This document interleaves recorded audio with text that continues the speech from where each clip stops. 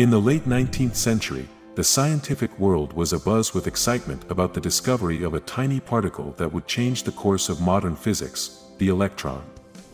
And it was J.J. Thomson, an English physicist, who is credited with the discovery of the electron. In 1897, Thomson was experimenting with cathode ray tubes, which were widely used in scientific research at the time. By applying an electric current to the tube, he was able to observe a stream of particles moving from the cathode to the anode. Thomson noticed that the particles had a negative charge and were much smaller than any known particle at the time. He called these particles corpuscles, but they would later be known as electrons.